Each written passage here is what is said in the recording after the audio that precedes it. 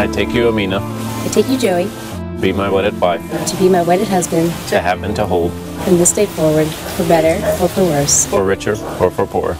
in sickness, and in health, in love, to cherish till death do us part, till death do us part. according to God's holy ordinance. And therefore, I give you my love. And therefore, I give you my love. With this ring, I thee wed, and with all my earthly goods, I thee endow, in the name of the Father, and the Son. and of the Holy Spirit. Amen.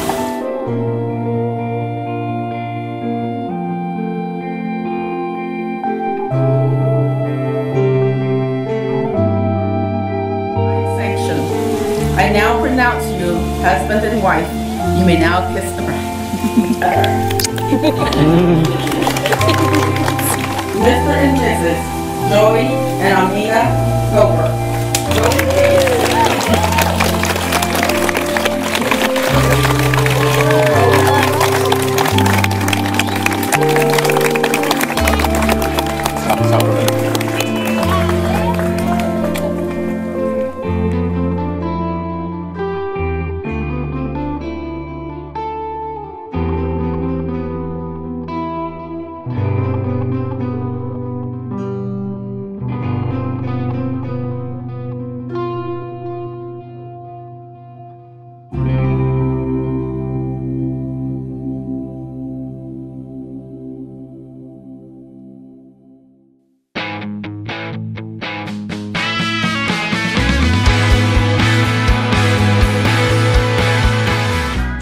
being roommates, being around each other, people just kind of grow different, go their different ways.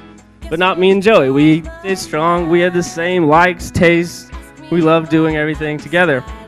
And now we're both here. Uh, we've both found the loves of our lives. We're now both married.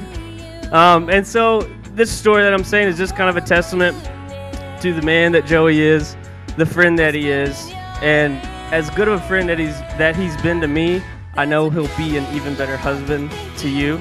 I just say both of y'all stay yourselves. You fell in love with each other for who you are.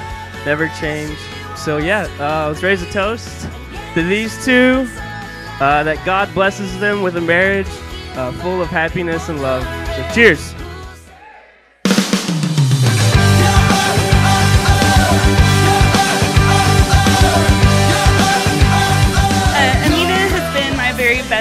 Ever since I can remember.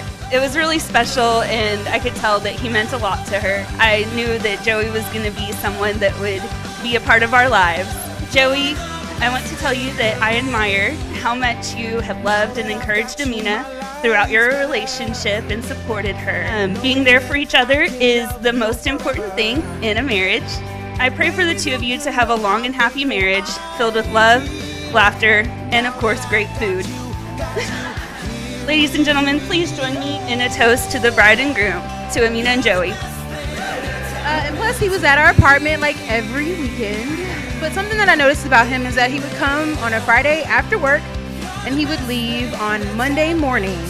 And I would be like, this guy's crazy. He must really love her if he gets up at 4 o'clock, 5 o'clock in the morning to drive through Houston traffic just so he can spend one more night with you. And I was like, wow, that's, that's truly something special. So, I mean, in this life, isn't that what we all want, right? Somebody that's crazy enough to wake up at 4 o'clock in the morning just to drive through Houston traffic to go to work. So, I pray for everlasting love and happiness for you guys. Um, so yeah, just uh, really happy that everyone could make it. Um, thank you so much.